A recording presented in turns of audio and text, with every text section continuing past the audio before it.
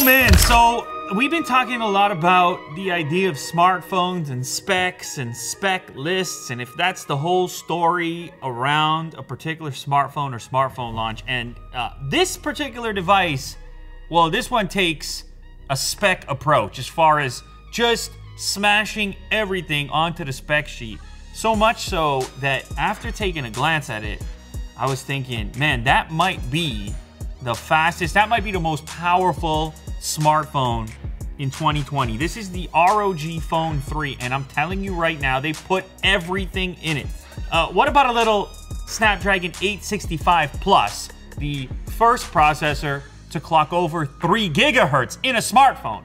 10% improvement, performance improvement over the regular Snapdragon 865, which is also already flagship level. What about a 144 hertz display? Yeah, we're gonna put that in there as well. Oh, uh, how about 16 gigs of RAM in a phone? Oh, jeez. It's difficult. They put 16 gigs of RAM. I mean, you don't have to get it with 16 gigs, but they're selling a 16 gigabyte RAM version of this smartphone. Oh, and by the way, 512 gigs of storage. They packed it all into here. It's wild. You have a 6,000 milliamp hour battery. Look, we're gonna go over it. We're gonna find out. I have a few of the accessories over here, but it looks like it's the cases and the cooler, which if you guys watched my previous video on ROG phone and certain other gaming phones, you know, these things are not a gimmick. They actually do work. The controllers and other peripherals, the dock, I don't have those at the moment, but the uh, box looks very fancy and special. ROG Phone 3. You have the cyborg futuristic look to it. As you can tell, I don't even, it slides. Of course it slides. Look at that. Ooh. Okay, so the phone is actually over there, and this is gonna be the extra things. I'm gonna just, we're gonna chill on that for a second. This one, that lifts there. It's all, it's very magical here. Lift the tab, okay. For those who dare, there's a pre-included case over here. This is a kind of exoskeleton look gamer aesthetic, as you're aware, doesn't cover up the design or the LEDs that are on the device. You gotta have some RGB on there as well, so that'll get you started. You've also got your paperwork and a sim tool, which is, even a sim tool is aggressive. Imagine. Kirk, you never saw a sim tool aggressive like that. That's Look, aggressive. that's like Lambo style angles on that sim tool. Some stickers. Join the Republic, Republic of Gamers. Increasingly, guys, it's all about the mobile gaming. That's people are expecting more out of their mobile devices when it comes to gaming, and that's really what's taxing these these heavy spec sheets, uh, particularly because cooling becomes an issue, and then uh, long gaming sessions may result in in a phone kind of downclocking itself in order to deal with increased heat, and then you're having worse performance. The idea here with a phone like this and the accessories they come out with is to encourage those extended gaming sessions, not having to worry about performance. So I read up a little bit on this power brick. This is a 30 watt fast charger for the 6,000 milliamp hour battery that's in here. And the reason they selected 30 watts as opposed to something even faster is because it would require a far fatter phone. And so they had to make a selection between either a bigger battery that would charge at 30 watts or a smaller battery that, that, that could charge faster. And so they went for the bigger battery, which I think is a good choice in a device like this. 6,000 milliamp hours, that's no joke. These are some little plug looking things for your accessory ports in case you want to have them sealed off. This looks like some sort of a braided cable. I believe it's a type C. Type C to Type C, a fairly robust cable, another thing you'd want to see on a smartphone targeted at being plugged in some of the time for that really intense gaming. This is a Type C to mini jack connector for connecting a headset. The phone over here Now this this is a bit of a beast, as I'm sure you're aware, and that probably meets your uh, expectation if you've been paying any attention to the gaming segment of smartphones, powerhouse style smartphones. Uh, this has some weight to it. It's very metallic, very cyborg, as mentioned. Ooh. So the rear reveals this logo in the center, the Republic of Gamers logo, and that is going to light up. That's going to be RGB. And we have some other distinctive characteristics. This section over here, depending on the way you bend it, you get some different colored reflections. It says Aerodynamic System there, Republic of Gamers written below. Here's your camera module up top. looks like you have a couple of cameras on there as well as a flash. All very angular in design. Uh, over on the side here, we have ROG engraved into the device. Is that right? Did that say? It is ROG, and I think those are also your shoulder buttons. These are going to be capacitive shoulder buttons. Air triggers are what they call them. And those are a differentiating characteristic of a gaming phone. You can map those to any spot in your game and get a way comfier grip over long periods of time. And these triggers on this device they actually added functionality. You can split them in half, so you can actually have one button over here and one button over here on each side, so you can get even more functionality. You can swipe on them now. It's a lot of stuff going on. Now, another unique feature is the ability to plug in your peripherals, your cables, and your other attachments on the uh, side of the device as opposed to just on the bottom. Now, that's a key because obviously you know, you, when you're playing a game, you're in landscape mode for the most part, and you could have the cable interfering with your grip. But also, there's various docks that uh, they're going to put out as accessories to this device that you may want to dock into, and so you have just the versatility of that port on the other side. Ooh, look at that. Qualcomm logo, Elite Gaming. So Qualcomm saying, hey, this is our top tier uh, processor. This is our 865 Plus. I think this is the first place it's actually been. We got a unique welcome graphic as well. This is not your stock Android situation. So for unlocking the phone, we have some options here for face recognition as well as in-display fingerprint. Oh, so you can use the air triggers for a squeeze function as well. Ah. And here you can see it's set to somewhere in the middle, and then that gives you an idea of how hard you have to squeeze to trigger that. Couple of different system styles for you to choose from.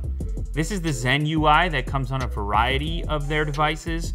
The default mode is an ROG specific, more aggressive gaming mode. I think that's what most people are gonna choose if you purchase a device like this.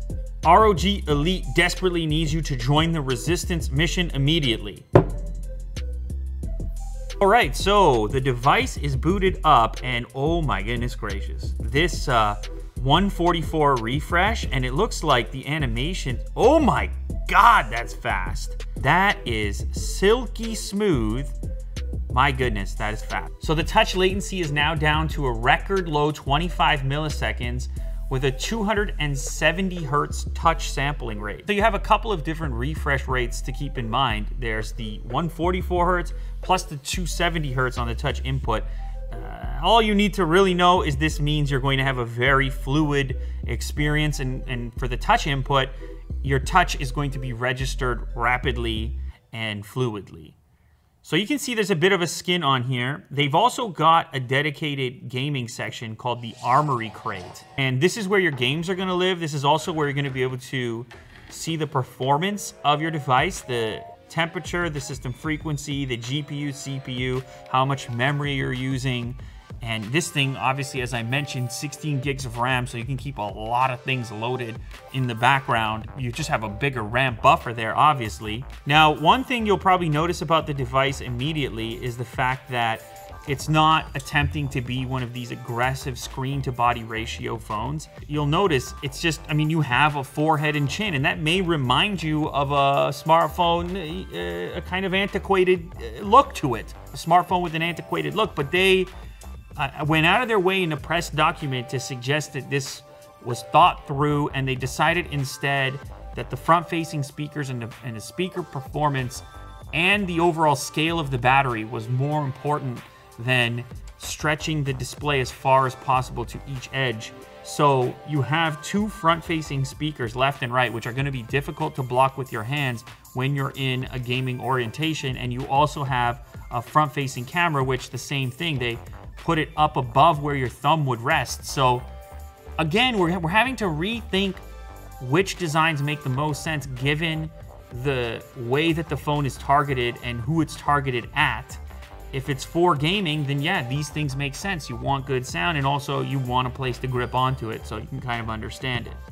Things that are happening in the world, in the world of technology. So I can't, you see, my gaming, hands don't cover the, the audio, today, and we that's loud. On video is actually a live stream with the new PlayStation 5 controller, courtesy of Geoff Keighley, and he was given the opportunity uh, not only to have the new That is loud. also And I believe there's actually even greater ability to control your audio performance within the settings, if I'm not mistaken. So there's this thing baked in called Audio Wizard, which will enhance the performance of audio depending on the circumstance and what you're doing on your device. So they're saying for gaming, for example, to boost the sound of footsteps, uh, for music, for a more immersive experience, and then of course, just the ability to personalize the and, and configure the sound. Not all manufacturers give you this ability or encourage you to do this, but they've baked it in here. You can see it's currently on the normal setting and it's in game mode. But if I wanted to go in here and tweak this and just you know, boost up the treble or the bass to suit my criteria, I could do that. So I'm just downloading an update on this device. It's a good moment to look over at some of these accessories. So this is the lighting armor case. So I guess this one lights up a little bit. It also looks sort of like a shell style case. Similar to the other one, but a little bit more robust. And this, this is one of those ones that pushes light through these little dots on the back. Of course, it leaves room for all of your various cutouts that are necessary. They detected the case, applying the theme. Woo! You pick it up, Kirk. Yeah. So you're getting your typical RGB cycle through there, but even without the case, you get that. Just it's going to be this kind of smaller logo that's built into the phone. This case just appears to synchronize what's happening there with the exterior. So that's kind of cool. Neon Aero case. That's this one here. This chic case offers protection against bumps and shock damage. I think it's going to be a lot like the case that was included in the package, just in a neon color. And that is quite the look. Kirk, I feel like you could pull this look, you could pull that look off, right? I like it. Reminds me of Lego. You're at the family event and you pull this out. People like, yep, that's Kirk right there. He's still doing it. I would. He's a guy that's still doing it. So that's a that's the most that is so neon looking. Holy pop. We don't see this type of transparent plastic as often anymore. But anyway, there's a couple of different options. Now they've also included an antibacterial glass screen protector. That's a big deal right now, so that's there as well. And then the most interesting of the accessories that I received is this one, which is the cooler. And like I mentioned previously, I've tested these things with an actual thermometer and they do work. They effectively cool down your smartphone actively with by pulling heat away from where the chip lives underneath the rear surface and then uh, uh, dissipating it. And this plugs into that bottom port that I mentioned previously. So this is going to attach into the port like that and then down like this. When equipped with a fan and, and, and enabling X mode, do you wish to always apply level 3 performance to achieve the ultimate gaming experience? Yes, of course I do. All right, so now we have Republic of Gamers RGB down here as well. And we have the fan running, which I can feel the cool air pumping out. And what's cool about this attachment is that it offers up pass-throughs on the bottom for a dedicated wired headset, as well as a Type-C connector to keep power flowing through the whole thing, including this accessory. And then the new thing as well is this little kickstand that's on here that opens up like this and allows you to get a nice little stand to your device, whether you're just watching content or gaming, because now you can back off a little bit with an actual controller. If you want to attach a controller for a more, even more tactile feel, it's just about versatility and different options for how you want to interact with it. Maybe you just want to let it cool down a little bit. Maybe you want to eat your cereal. You know, it's completely up to you, whatever. What kind, what kind of cereal are you eating? Oh man, you know, I jump around a lot. I recently got back into a classic, and believe it or not, uh, just regular Cheerios. Mm, honey? No, no, regular What? yellow box Cheerios. You're a psycho. Yeah, recently got back into. it. It's not a ton of flavor, but it's a nostalgic thing to it. So, all right. So to showcase what this thing is capable of, I've loaded up a game called Bullet Force because that game is capable of 144 FPS to take advantage of the 144 hertz.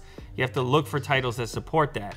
And as far as the air triggers are concerned, you just pull over here, grab the triggers, and line them up with different sections within the game where they'd be convenient to have. So down the sights is on my left trigger, and to actually activate the trigger itself in the graphical overlay, you have the right shoulder button. If I push the right shoulder, boom, left shoulder, down the sights. Right shoulder, oh, there we go. He's dead. He's dead. And holy moly, the sound is quite immersive here. Oh. Got him! Got him! It's a comeback, 5-3. That's three in a row! that doesn't even seem right. I had it. I had the eyes on him as well. I had the eyes on him. I put the eyes first. Okay, I gotta get out of here. Uh, look, what can I say? I mean, this is it's fun stuff, guys. It's a good time. It's a good time and it's fun stuff and it's it's gaming. It's gaming centric. It's a beast. It's an, it's obvious what it's for. You just have to take one glance at it and you know what you're working with. If you're in the market for the most powerful thing that's out there in smartphone land, I don't think you can beat this right now. Quick recap here on specs 16 gigs of RAM, a Snapdragon 865 Plus with a 10% performance improvement over the regular 865, including in the graphics department. A 6,000 milliamp hour battery because that's what you would want on a high-powered gaming phone. A display that's capable of 144 hertz, making it one of two that I'm aware of that can come up to that speed. And then you pair that with the 270 hertz input, and it's like, well, it's obvious that you're dealing with, if not the most powerful, definitely one of the most powerful smartphones that you can buy in 2020. You know who it's for. It's got the gaming centric design, the RGB stuff, and a wild variety of accessories that you can add to it to enhance the gaming experience even further. I think this is probably the most popular of the add ons. It really does work and it's quite portable, but they take it a step further with all the controllers and contraptions so even guys like me can get those kills in the first person shooter. Oh, he missed me too.